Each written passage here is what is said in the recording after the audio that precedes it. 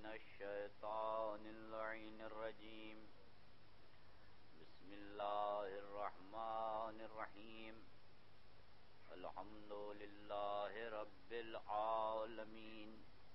حمدا أذلية بأبديته، وأبدية بأذليته سرمدا بإطلاقه، ومتجليا في مزايا إفاقته.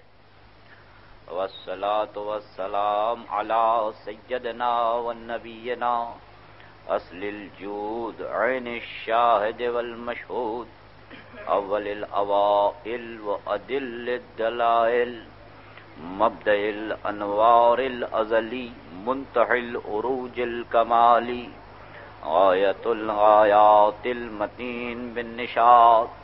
أب الأكوان بفاعليته وأم الإمكان بقابليته المثل الآلاء الإلهي وحيول الأوعلم لا يتناهي المهتد التسعة والتسعين رحمة للعالمين أبي القاسم محمد اللہ محمد اللہ واہل بیت الطیبین الطاہرین المعصومین المظلومین الذين ذهب الله عنهم الرجس وطهرهم تطهيرا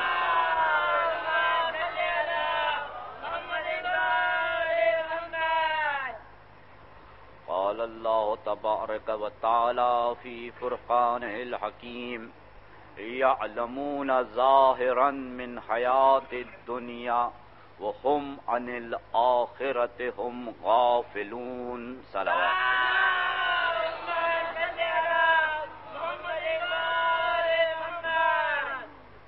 اس مجلس کے بعد انشاءاللہ اللہ نے اگر توفیق دی تو بڑے امام باڑے میں ایک اور مختصر مجلس سے خطاب کرنے کا شرف حاصل کروں گا.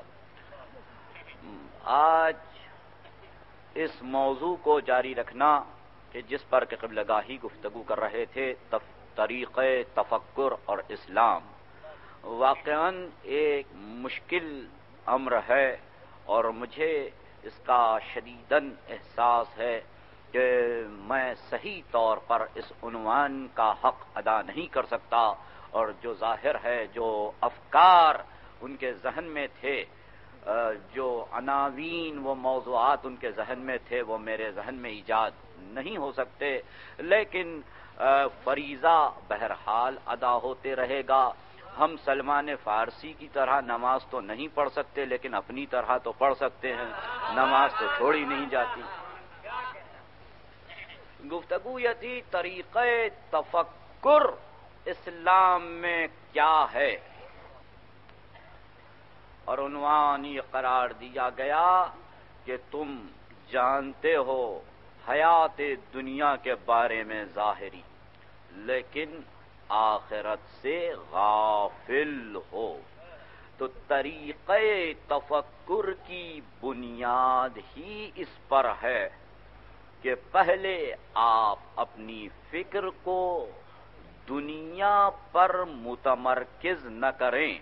یہ نہ سمجھیں کہ فقط دنیا ہی سب کچھ ہے، بلکہ فکر وہ ہم انل آخرت ہم غافلون۔ آخرت سے وہ لوگ غافل ہیں، تو آخرت سے غفلت طریقے تفکر اسلام نہیں ہے۔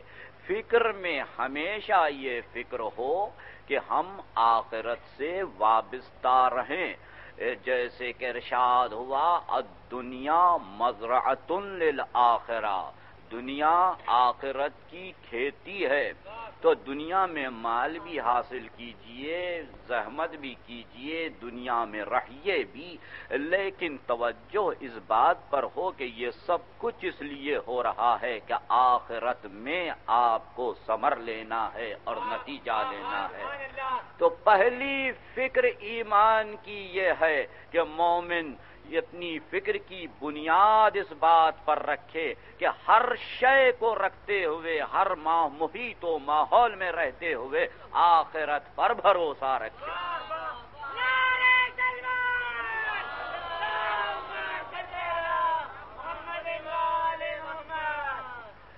ایک مقام پر شاد ہوا، تفکر ساعت خیر من عبادت سنا ایک گھنٹے کی فکر، تفکر ساعتن ایک گھنٹے کی فکر۔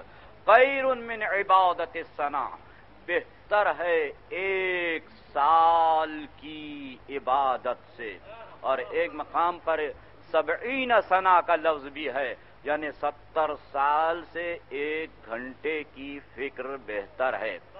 بہرحال ایک گھنٹے کی فکر وہ ستر سال کے لیے ہو یا ایک سال کے لیے ہو۔ بہرحال فکر وہ ہو جو عبادت سے بہتر ہو سکے۔ فکر، آپ بھی صاحب فکر ہیں، کافر بھی صاحب فکر ہے۔ بہت سے دولت مند بھی صاحب فکر ہیں، بہت سے سلاطین بھی صاحب فکر تھے۔ لیکن کیا ہر ایک کی فکر عبادت سے بہتر ہے؟ کیا یہ فکر ان کی بہتر ہو سکتی ہے؟ یہ یقیناً محمود غزنوی نے جو ہندوستان پر حملہ کیا، بہت سوچ سوچ کے حملہ کیا، بڑے تدبیر کے ساتھ حملہ کیا۔ اگر محمد بن قاسم کا آپ ذکر کرتے ہیں، اس نے بھی بڑے تدبر و فکر کے ساتھ کام اختیار کیا۔ اگر آپ فلسفیوں کا ذکر کرتے ہیں اور حکمہ کا ذکر کرتے ہیں، تو وہ بھی بہت سوچ سمجھ کر اقدام کرتے ہیں۔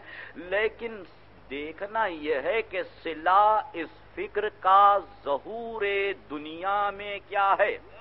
محمود غزنوی کی فکر کا سلا یہ ہے کہ ایک مملکت کا اضافہ، حدود سلطنت میں اضافہ۔ بادشاہ کی فکر کا نتیجہ، اس کی سلطنت میں استحکام، دوام اور اضافہ۔ فلسفی کی فکر یہ ہے کہ اس کی فکر باعث زیادتی علم و معلومات۔ لیکن کیا یہ افکار ہماری عبادتوں سے بہتر ہو سکتے ہیں؟ طرز تفکر کیا ہونا چاہیے؟ کیا ان فکر کی بدولت ہم ایک سال یا ستر سال کی عبادت سے بہتر ہو سکتے ہیں؟ نہیں، میں آپ کو یہ عرض کروں کہ اس روایت میں قطعا اغراق نہیں ہے۔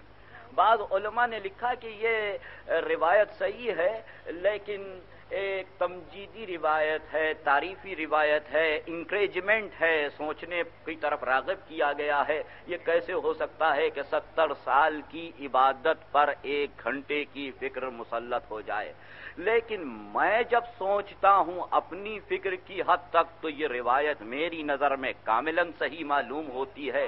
اس لیے کہ میں نے سوچنے والوں کو ڈھونڈ لیا ہے۔ سوچنے والوں کو ڈھونڈ لیا ہے کس کی فکر۔ میں نہیں کہتا رسول کی فکر، میں یہ نہیں کہتا امام کی فکر، صاحبان عصمت کی فکر نہیں، بلکہ دشمن کے لشکر میں کسی کی فکر۔ حزم مخالف میں کسی کی فکر۔ ان کی فکر جو جنگ کے لیے آئے ہیں، ان کی فکر جو عداوت کے ساتھ آئے ہیں، ان کی فکر جو حاکم کے ساتھ آئے ہیں، اور فکر کی، رات بھر فکر کی، صبح کو یہ فیصلہ کر دیا۔ جا کے کہا، عمر ساتھ میں حر ہوں یعنی دنیا میں بھی آزاد اور آخرت میں بھی آزاد۔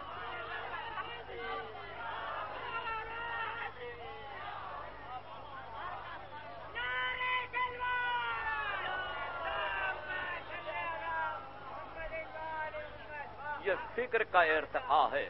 طرز تفکر میں جہاں بنیاد میں خدا ہے اور طرز خدا ہے، خوف خدا ہے، تو وہاں ایک گھنٹے کی فکر عبادت کیا عمر بھر کی عبادت کیا؟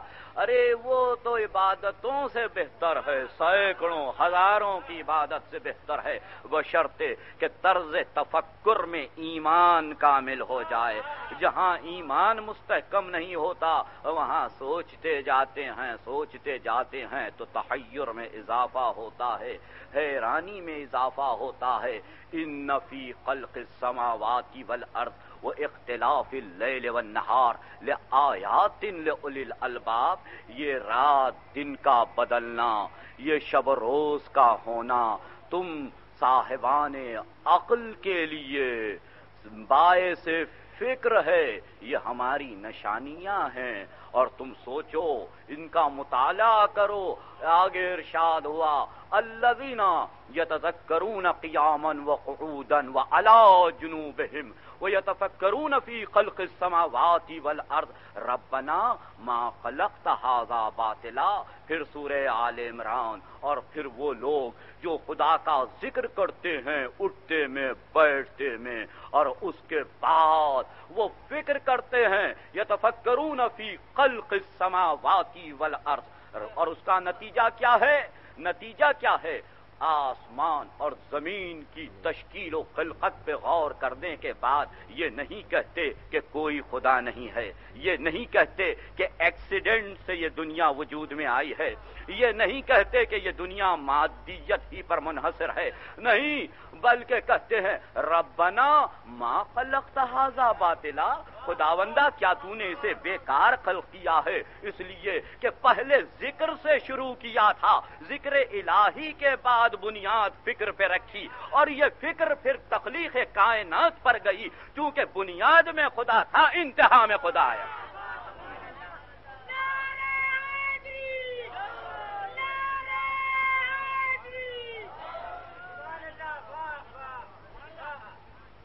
ارشاد ہوا۔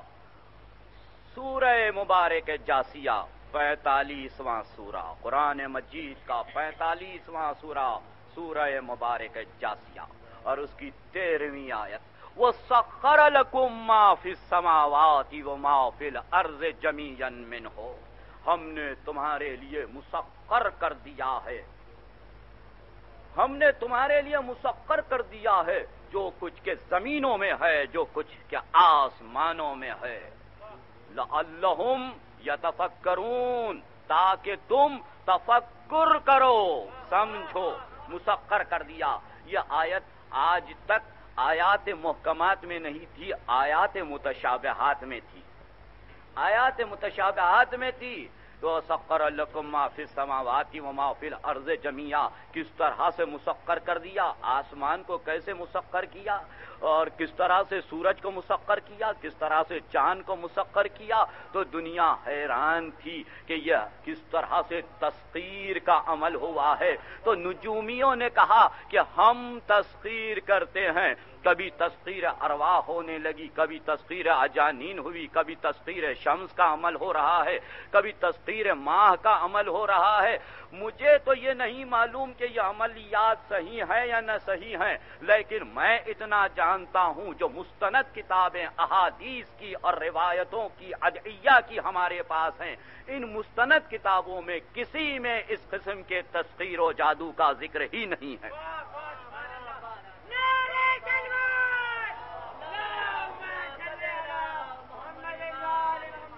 تو آج تک یہ آیت اس قدر متشابہ تھی کہ وہ سفر القم معافی سماواتی و محفل عرض جمیا تو اب حیران تھے کہ یہ آسمانوں کو کیسے مسخر کر دیا، یہ زمین کو کیسے مسخر کر دیا۔ تو لوگ یہ چاہتے تھے کہ عمل تصویر کریں، عمل تصویر کے لیے سورج کو دیکھا کرتے تھے، دن رات بیٹھ کے سورج کو دیکھ رہے ہیں۔ تو سورج کو دیکھتے دیکھتے اندھے ہو گئے، سینکڑوں اندھے ہو گئے، ہزاروں اندھے ہو گئے، اور کسی نے آنکھ بچا لی اور باقی رہ گیا۔ تو اس نے اپنے من میں جو آیا وہ کہہ دیا، جو آیا وہ لکھ دیا۔ تو یہ کہا کہ یہ عمل تسخیر شمس ہے۔ تسخیر کرنا، مسخر کرنا یعنی غالب ہو جانا، چھا جانا۔ تو آپ کی آنکھ وہ اور آپ کی بینائی اتنی کمزور کہ آپ سورج تو کیا اس لیمپ کو مسخر نہیں کر سکتے؟ تو سورج کا تصویر کا عمل کیسے ہوتا ہے؟ اور یہ تصویر کیسے ہو سکتی تھی؟ اور یہ سمجھ لینا کہ آسمان اور زمین پر جتنے سیارے اور ستارے ہیں، ہم ان کو تصویر کر کے عمل کریں گے۔ تو یہ طرز تفکر میں اشتباہ تھا۔ لعلہم یتفکرون۔ وہاں یہ نہیں کہا کہ تصویر کر کے تعویز لکھو، دعا دو۔ وہاں یہ کہا مسکر کیا ہے تاکہ تم فکر کرو۔ سمجھو، خدا کو پہچانو۔ تو اب تک یہ آیت متشاب ہاتھ میں تھی، اس لیے کہ آسمانوں کا علم ہمارے پاس نہیں تھا، زمین کا علم ہمارے پاس نہیں تھا۔ ہم کو یہ نہیں معلوم تھا کہ یہ آسمان کی کیا کیفیت ہے۔ فلسفہ قدیم نے یہ بتلایا تھا کہ یہ آسمان جسے ہم دیکھ رہے ہیں، اجرام مادی ہیں۔ اور یہ اجرام مادی کے ساتھ سات آسمان ہے۔ ان سات آسمانوں کے بعد عرش معلہ ہے۔ عرش معلہ پر ایک کرسی ہے اور کرسی پہ خدا بیٹھا ہوا ہے اور وہ کرسی پر اس طرح سے بیٹھا ہوا ہے۔ نعوذ باللہ کہ دونوں جانب سے اس کے بدن مبارک کا حصہ کچھ باہر سے آیا ہوا ہے۔ تو یہ فکر کی بنیادی غلطی یہ تھی کہ پہلے تو آسمانوں کو غلط سمجھا، دوسرا یہ کہ خدا کی کرسی کو غلط سمجھا، کرسی کے معنی نہیں سمجھے۔ تیسرا یہ کہ خدا کی ذات کو قیاس کیا اپنی ذات پر۔ خود جیسے تھے سمجھا، خدا بھی ویسے ہیں۔ تو اسی انداز سے سوچ کر یہ کہا کہ اس طرح سے بیٹھے گا، اس طرح سے اس کا بدن مبارک ظاہر ہو جائے گا، کرسی سے باہر نکلے گا۔ تو یہ سارے اشتباہات اس لیے تھے کہ بنیاد اس تفکر کی اہل بیت کے نظریے پر نہیں تھی۔ بنیاد اس تفکر کی فکر نبی پر نہیں تھی۔ بنیاد اس فکر کی باب مدینہ علم پر نہیں تھی۔ بلکہ بنیاد اس فکر کی یہ نظریات یونان پر تھی۔ یونانیوں کا یہ نظریہ تھا کہ آسمان، یہ سما اجرام مادی ہیں۔ تو ان کی بنیاد پر یونانوی فلسفے کی بنیاد پر مذہب کو رکھ کر قیاس کیا، تو کفر کو ایمان سے جب ملایا تو شرک ہوا، جب شرک ہوا تو خدا کو مجسم سمجھ لیا، جب خدا کو مجسم سمجھ لیا تو کرسی پر بھی بٹھلا دیا، بدن بھی بنا دیا، اس لیے بنیاد میں غلطی تھی۔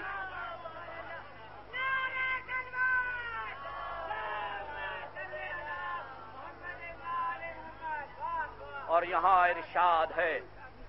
یہاں ارشاد ہے۔ یا اہل کتاب لما تلبسون حق بالباطل و الحق و انتم تعلمون۔ اے صاحبان کتاب، کیوں حق کو باطل کے ساتھ ملا رہے ہو؟ لما تلبسون حق بالباطل و تختمون الحق و انتم تعلمون۔ اور حق کو کا کتمان کر رہے ہو، چھپا رہے ہو باوجود یہ کہ تم جانتے ہو حق کیا ہے۔ باوجود جانتے ہو حق کیا ہے اور کتمان حق کر رہے ہو، حق کو باطل سے ملانا یعنی یہ کہ آپ حق کو باطل سے ملا دیں، یہ نہیں کہ قرآن کو کسی لائبریری میں رکھ دیا جائے اور اسی لائبریری میں انسائکلوپیڈیا بھی ہو، اسی لائبریری میں ناولس بھی ہوں، تو یہ کہا جائے حق کو باطل سے ملا دیا۔ نہیں، حق کو باطل سے ملانا یہ ہے کہ جو مظہر حق ہے، اس کو مظہر باطل کے ساتھ ملا دیا جائے۔ مظہر حق کی معرفت نہ ہو، جب مظہر حق کی معرفت نہیں، چونکہ طرز تفکر میں بنیاد غلط ہے، فکر اصابت عصبیت عربیت پر ہے، فکر فلسفہ یونان پر ہے، فکر جمہوریت پر ہے، فکر سلطنت پر ہے، تو انہوں نے حق کو باطل سے ملایا یعنی یہ پہلے، یہ دوسرے، یہ تیسرے، یہ چوتھے، یہ پانچویں، یہ اس طرح سے سلطنت بنی یعنی حق کو باطل سے جب ملا دیا، اور اس کے بعد کہا، یہ بھی جیسے، وہ بھی ویسے، ان کو بھی مانو، ان کو بھی مانو حق اور باطل دونوں ایک سا نہیں ہو سکتے۔ جبکہ رسول نے فرمایا علی مع الحق والحق مع علی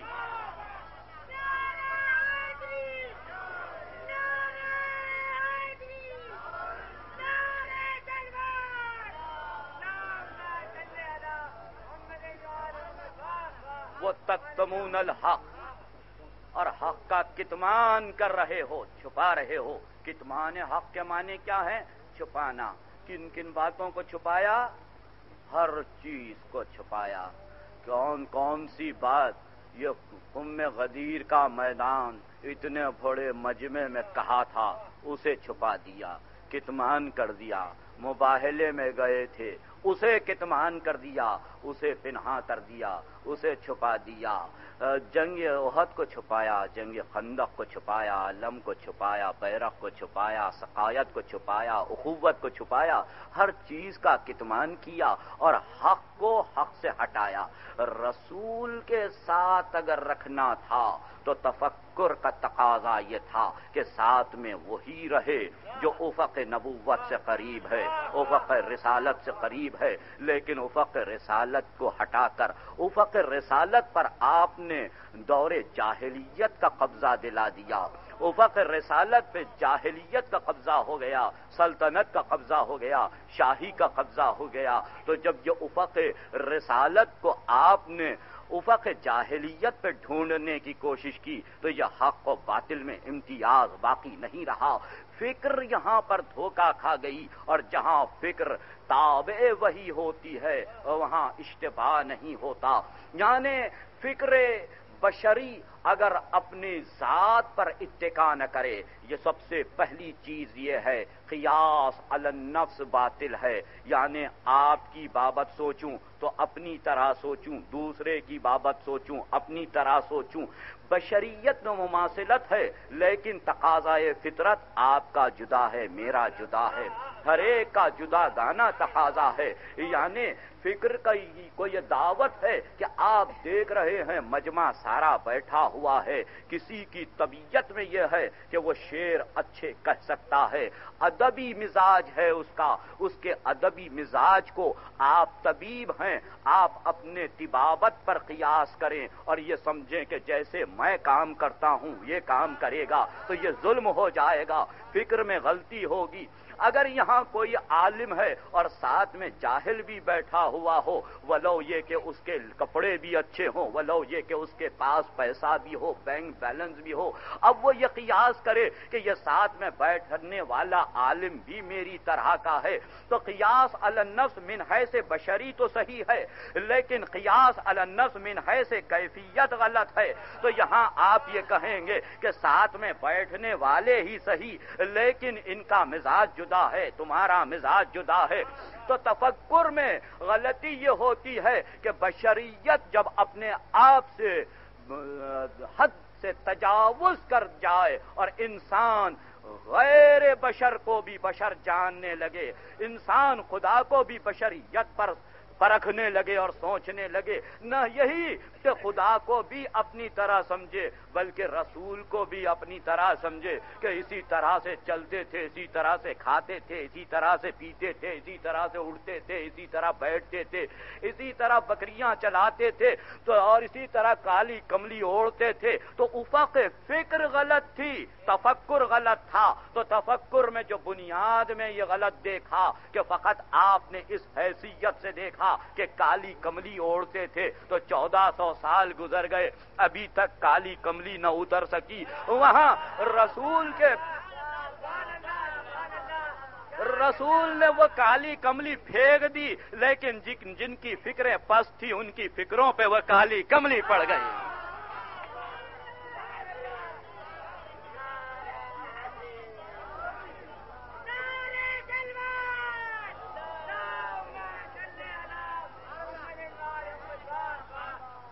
تو تفکر میں اشتباہ ہوا یعنی تفکر کو تابع وہی ہونا چاہیے۔ اور جہاں تفکر تابع وہی و تابع توحید نہیں ہے، وہاں اشتباہ ہے۔ اور جہاں تذکر ہے اور ذکر ہے، جیسا کہ کل میں نے عرض کیا تھا، انا نحن نزلنا ذکر و انا لہو لحافظون۔ ہم نے ذکر کو نازل کیا ہے اور ہم ہی ذکر کی حفاظت کرنے والے ہیں۔ تو ذکر کی حفاظت، وہ ذکر ذکر من اللہ ہے۔ اللہ کی جانب سے ذکر آیا ہے۔ ذکر خدا کی جانب سے ہوتا ہے۔ ذکر اپنی جانب سے بنایا نہیں جاتا۔ جہاں آپ اپنی طرف سے بنائیں گے تو آپ کی فکر کے مطابق ہوگا اور جو ذکر اللہ کی جانب سے ہوگا وہ آپ کی فکر پر مقدم ہوگا۔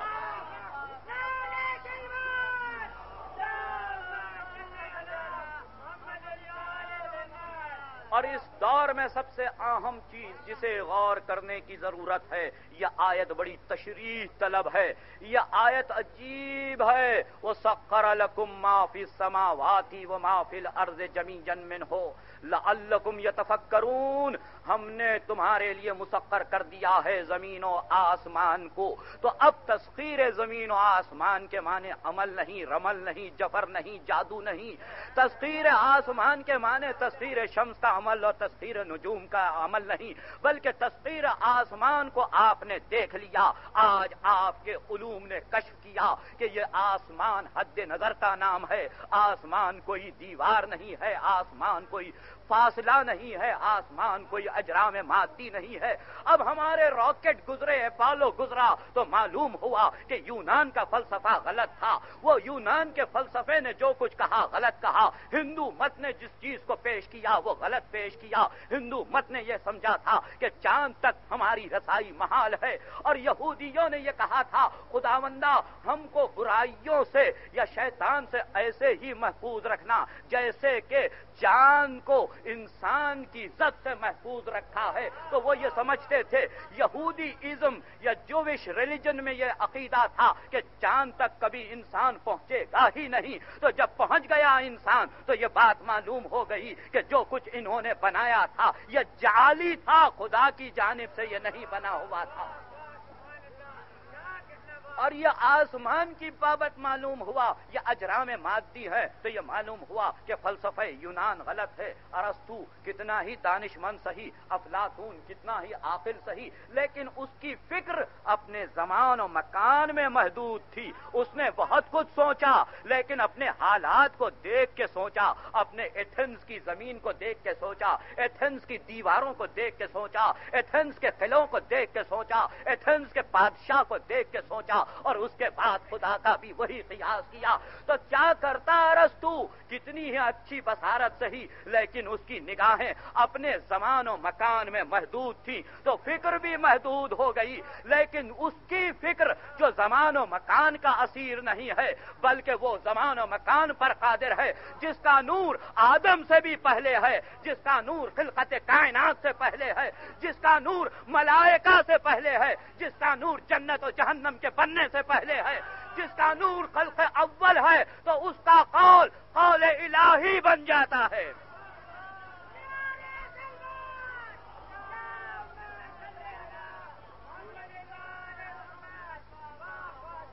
تو پھر اس فکر میں خطا نہیں ہوتی۔ اس کی فکر میں خطا نہیں ہوتی۔ تو طرز تفکر یہ ہے کہ طرز تفکر یہ ہے کہ بنیاد یونان پر مت رکھو۔ بنیاد گیتا پر مت رکھو، بنیاد ہندو مت پر مت رکھو، بنیاد یہودی یت پر مت رکھو، بلکہ بنیاد رکھو۔ تو جتنا ماں آتا کمر رسول فخو ماں نہا کمن ہو فنن تہو جو کچھ کے رسول تم کو دے، اسے لے لو، جس چیز سے رو کے رک جاؤ۔ تو جہاں اپنی طرف سے اضافہ کیا، چاہا کہ رسول نے تو نہیں کہا ہے، ذرا یونان والوں سے پوچھے، ہندوستان والوں سے پوچھے، تو پھر تم رسول والے نہیں رہے۔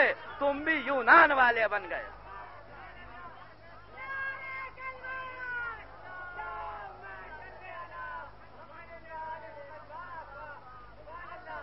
تو طرز تفکر وہ بنیاد یہ ہو کہ اللہ کی تات سب سے پہلا امر یہ ہے کہ جب کوئی مفکر خلق سماواتی والارض پر توجہ کرے تو وہ کہے، ربنا ما خلقت هذا باطلا، خداوندا، کیا تو نے اسے ابس پیدا کیا ہے؟ اس لیے کہ جب بنیاد میں لا الہ الا اللہ ہے تو اس کے بعد انسان گمراہ نہیں ہونے پاتا۔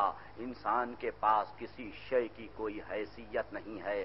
جہاں یہ ارشاد ہوا سکر الکم ما فی السماوات و ما فی الارض جميعا من ہو جو کچھ کے زمین و آسمان میں ہے، ہم نے اس کو تمہارے لیے مسخر کر دیا۔ تو مسخر کرنے کے معنی یہ نہیں کہ اسکندر مغدونی یعنی الیگزینڈر دی گریٹ کی طرح آپ حملے کر کے ملک گیری کو اختیار کریں۔ اور ملک کشائی کے بات یہ سمجھیں کہ ہم نے مسخر کر لیا، اتنی زمین کو مسخر کر لیا۔ یہ تسخیر تسخیر آرزی ہے، یہ تسخیر تسخیر ظاہری ہے۔ مسخر وہ ہے تصویر واقعی وہ ہے جو حقیقت اشیاء کو پالے، حقیقت اشیاء کو جان لے۔ اور حقیقت اشیاء کا جاننا کیا ہے؟ کافر جب سورج کو دیکھتا ہے تو اس کی فکر بھی کام کرتی ہے اور وہ سورج کو دیکھ کر یہ کہے کہ یہ میرا رب ہے، چاند کو دیکھے تو یہ کہے کہ یہ میرا رب ہے۔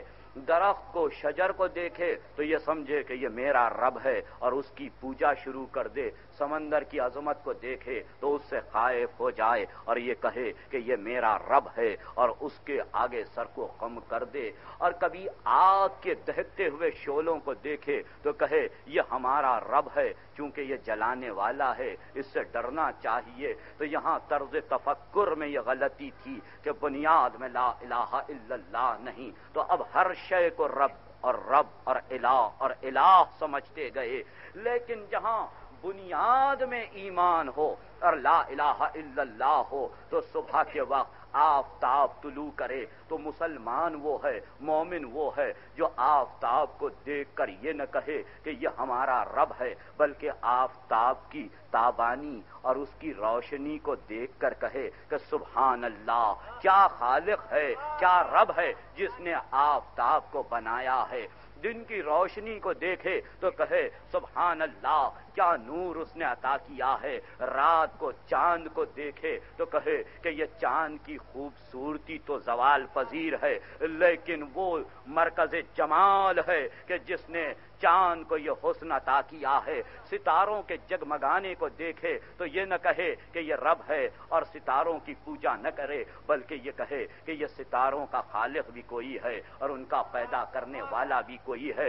سمندر کو دیکھے تو کہے کہ سمندر کا بھی کوئی پیدا کرنے والا ہے، درخت کا بھی کوئی پیدا کرنے والا ہے۔ ہر شے کو دیکھے تو اس کے مالک اور اس کے خالق کو دیکھے یعنی شکر کو دیکھے اور شکر کی شیرینی کو دیکھے تو یہ بھی جان لے کہ شکر کا بنانے والا محبوب ہے یا شکر محبوب ہے۔ شکر کی شیرینی زائل ہو جائے گی، لیکن شکر کا پیدا کرنے والا زوال پذیر نہیں ہے، وہ باقی رہنے والا ہے۔ تو مومن جب فکر میں لا الہ الا اللہ کو رکھ کے کائنات کی ہر شے کا مشاہدہ کرتا ہے، تو ہر شے میں اسے توحید نظر آئے گی۔ ہر شے سے اس کا ایمان مستحکم ہوگا اور کافر جب ہر شے کا مشاہدہ کرے گا تو ہر شے میں وہ گمراہ ہو جائے گا۔ اس لیے طرز تفکر میں اشتباہ ہے۔ طرز تفکر نانی، بے کفاوری جو غفلت نہ خوری۔ یہ ابر، یہ سادی ہیں، گلستان کا مقدمہ ہے۔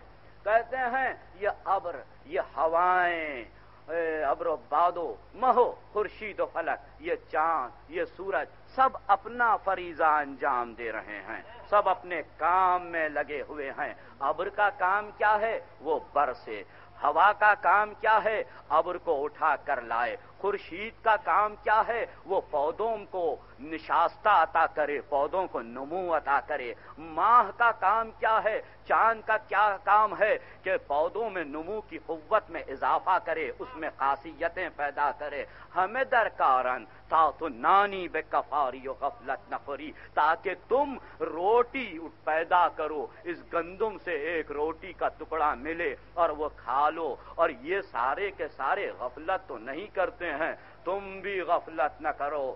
یہ کہتے ابرو پادو مہ خورشید و فلک ہمیں درکارن تا تو نانی بے کفاری و غفلت نہ خوری۔ ہمیں از بہرے تو سرکشت و فرمن بردار، ہمیں از بہرے تو سرکشت و فرمن بردار شرط انصاف نہ بخشت کے تو فرمن نہ بری۔ یہ سب کے سب جس کو تم مسخر کر رہے ہو، خدا نے ہی مسخر کر دیا ہے۔ یہ خود ہی تمہارے اطاعت گزار ہیں فرما بردار ہیں۔ لیکن تم نافرمانی نہ کرو۔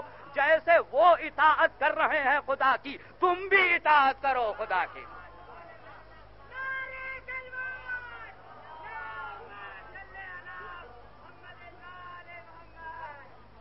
تو یہ کائنات کا ہر ایک ذرہ، ہر ایک ذرہ شہادت دے رہا ہے کہ کوئی ہے، خالق ہے اور اس کی مشیت کی طرف اشارہ کر رہا ہے۔ تو ہم کائنات کے ہر ہر ذرے کا مشاہدہ کر سکتے ہیں۔ ہمیں یہ نہیں کہا گیا کہ ایٹمک انرجی پر ریسرچ نہیں کیجیے ہمیں یہ نہیں کہا گیا کہ بایولوجی پر ڈسکس نہیں کیجیے ضرور کیجیے بایولوجی ہو یا جاگرفی ہو یا سائنس ہو، یا کیمسٹری ہو، یا فزکس ہو، یہ سب کیا چیزیں ہیں؟ یہ وہ علوم ہیں جس سے کہ یا آپ فلزات کو سمجھیں، یا پودوں کو سمجھیں، یا زمین کو سمجھیں، یا زمین کے اندرونی کیفیتوں کو سمجھیں یا آنے یہ سارے علوم اشیاء کو بتا رہے ہیں۔ میں اشیاء کو جاننا نہیں چاہتا۔ میرا طلب اور میری فکر یہ ہے کہ میں اشیاء کو تو پہچانتا ہوں، مگر خالق اشیاء کو پہچاننا چاہتا ہوں۔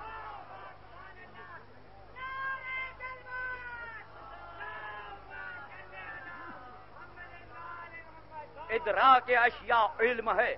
ادرا کے اشیاء علم ہے۔ معرفت فتح اشیاء علم ہے۔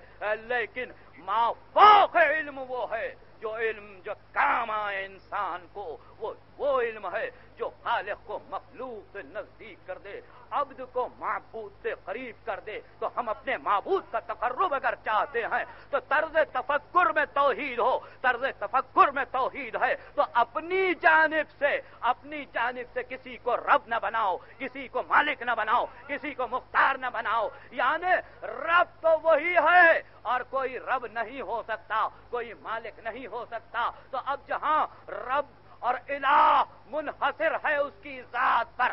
وہ الہ واحد ہے، تو اس کے بعد حکم حکم بھی واحد ہے، شریعت بھی واحد ہے، تدوین بھی واحد ہے، طریق شریعت بھی واحد ہے۔ اور اس کے بعد اگر آپ یہ چاہیں، اپنے تفکر سے قیاس اور استحسان کی بدولت، احکام شریعت میں اضافہ کریں، تو یہ تفکر، قیاس اور استحسان کے ذریعے آپ کو حکم واقعی سے ہٹا دے گی۔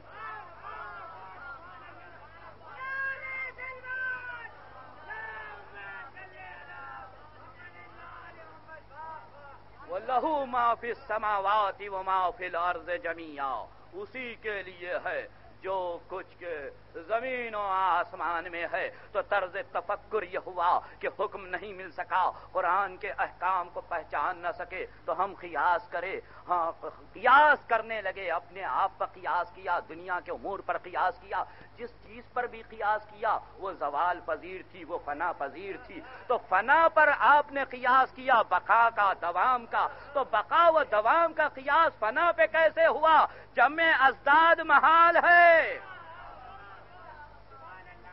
جمع ازداد محال ہے اور جمع ازداد کیا یعنی حکم الہی کو حکم دنیاوی پر قیاس کر دیا یا پھر اجماع کے زور پر حل کیا۔ جہاں وحدت ہے، وہاں کثرت کا سوال کیا۔ جہاں بنیاد میں آپ وحدت کے قائل ہو گئے، تو پھر کثرت آرا کیسی؟ کثرت رائے کیسی؟ کثرت فکر کیسی؟ اگر کثرت وجود ہے، کثرت ہے انسانوں کی، تو وحدت یہ ہے کہ فکر میں وحدت ہو، عقیدے میں وحدت ہو، ایمان میں وحدت ہو۔ اور ایمان میں جب وحدت ہو جائے، تو جو کچھ کے حکم الہی ہے، اس اس کے تابع ہو جائیں اور حکم الہی جب آتا ہے تو یہ نہیں آتا کہ آپ کی رائے لے کے آئے، قیاس سے آئے، استحسان سے آئے، پوچھ کر آئے، نہیں، رسول نے بھیجا، لے جاؤ یہ سورت کو، یہ سورے کو لے جاؤ اور مکے میں جا کے پڑھ دینا، مکے میں جانا اور تم سنا دینا، بزرگ کا انتخاب کیا، بڑھے کا انتخاب کیا، دیکھ کے انتخاب کیا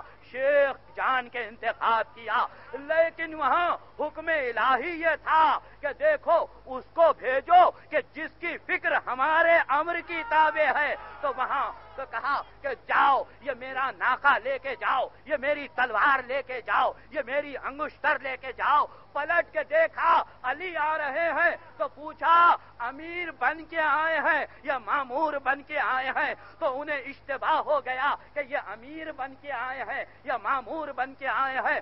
اگر آپ کا ایمان کامل ہوتا تو آپ جان لیتے کہ جس کو خدا و رسول نے امیر بنایا ہے، وہ ہر جگہ امیر بن کے گیا۔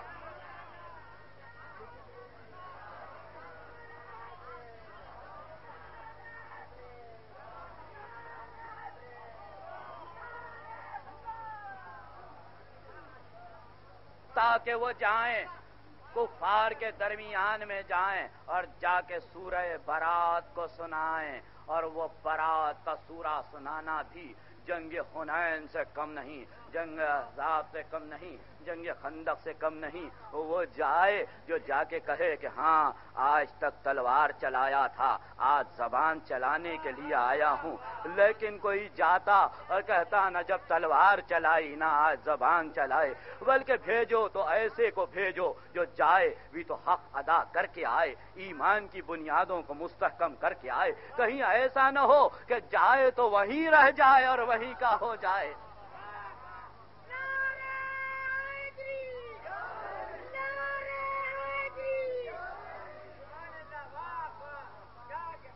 جدھر جائے اور وہیں کا ہو جائے، تو پھر اس سے اجتناب چاہیے۔ یہ جان کر بھیجا کہ جائیں گے تو تفکر صحیح ہے۔ طرز تفکر میں توحید ہے، کبھی شرک نہیں ہے، لہذا اشتباہ کی صورت نہیں ہے۔ طرز تفکر یہ ہے کہ مزاج وہی سے بھی آشنا ہے مزاج رسالت سے بھی آشنا ہے طرز تفکر یہ ہے کہ کفار کی بھی طبیعت کو جانتے ہیں، مخالفین کی بھی طاقت کو جانتے ہیں۔ تو تفکر صحیح ہے، اس لیے آیت دی اور سورہ برات کو دے کے بھیجا اور آئے، آ کے بھرے مجمے میں وہاں پر یہ سورا سنا دیا اور وہاں لوگوں پر سانپ سونگ گئے۔ سانپ سونگ گئے جو مقابلے کے لیے کھڑے تھے، جو دشمنی کا اظہار کرتے تھے۔ اب کچھ نہیں کہتے، اس لیے کہ اب تک تو یہ زبان چلا رہا ہے۔ کہیں یہ نہ ہو کہ ذوالفقار بھی چلنے لگ جائے۔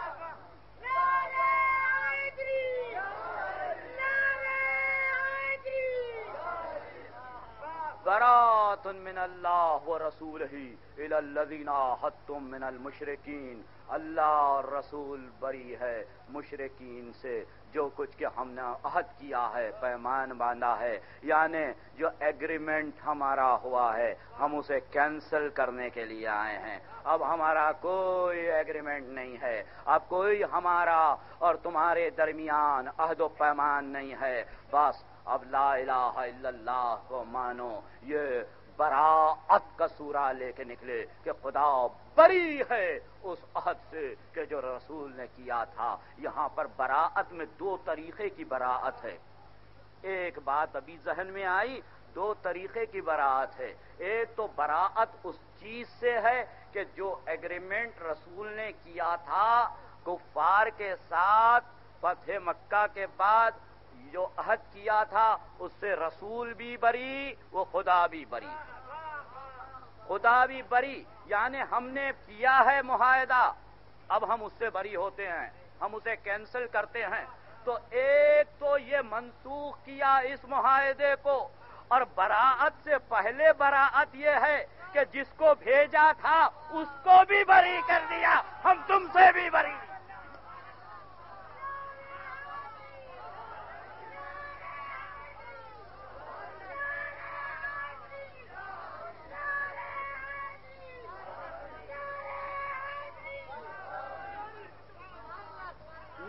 یہ کہ معاہدہ رسول نے ہی کیا تھا نا؟ آٹھ ہجری میں فتح مکہ پہ معاہدہ کسی اور نے نہیں کیا، صحابہ نے نہیں کیا، علی نے نہیں کیا، خود رسول نے معاہدہ کیا تھا، ابو سفیان سے کیا تھا، وہاں حکم آیا کہ کہہ دو رسول کہ ہم بری ہیں اس معاہدے سے۔ براؤ من اللہ رسول ہی من المشرقین مشرقین سے کہہ دو کہ جو نے ہم نے میساخ باندھا ہے اسے توڑ دیتے ہیں۔ تو معاہدہ رسول نے کیا، توڑ دیا۔ اور یہاں پر یہ بتلایا کہ دو دو طرح سے توڑتے ہیں، یہ بھی توڑ کے بتلاتے ہیں۔ ہم نے بھیجا تھا، یہ بھیجنا بھی دیکھ لو، وہ کفار سے ایگریمنٹ کو بھی دیکھو۔ اسے بھی منسوخ کیا، اسے بھی منسوخ کیا۔ تو بس بات اتنی ہی ہے کہ جسے رسول خدا نے ایک دن منسوخ کر دیا، ہم اس کو قیامت تک کے لیے منسوخ سمجھتے ہیں۔